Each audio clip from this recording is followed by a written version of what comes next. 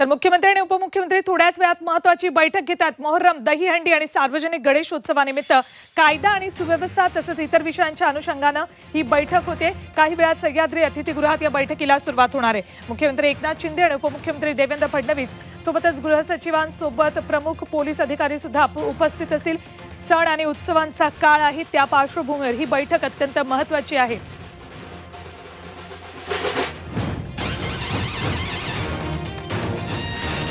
मुख्यमंत्री आणि उपमुख्यमंत्री थोड्याच वेळात सह्याद्री अतिथीगृहामध्ये ही अत्यंत महत्वाची बैठक घेतात. मोहर्रम दहीहंडी सार्वजनिक गणेश उत्सवाचा आता सणांचा काळ आहे. याच पार्श्वभूमीवर कायदा सुव्यवस्था याबाबत बैठक घेत आहेत.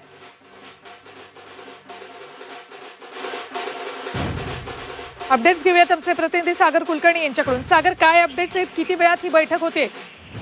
पुढील काही वेळातच या महत्त्वाच्या विषयावर बैठक होती.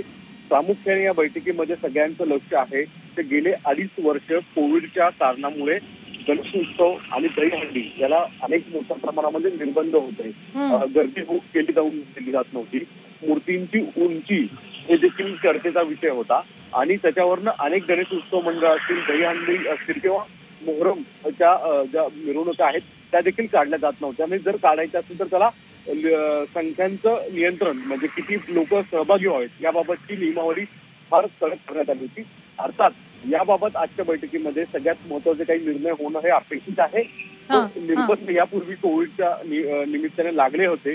ते जवळपास आता उठवले जातील असं सांगितलं जातं. आणि राज्यामध्ये पुढच्या कालावधीमध्ये जे मोठे सार्वजनिक उत्सव येणार आहेत ते मोठ्या संख्येने साजरे करता येतील बरोबर. असं जवळपास दिसतं आणि याबाबतचे महत्त्वाचे निर्णय आजच्या बैठकीत होतील. ठीक ठीक. धन्यवाद सागर. हो. संपूर्ण माहितीसाठी.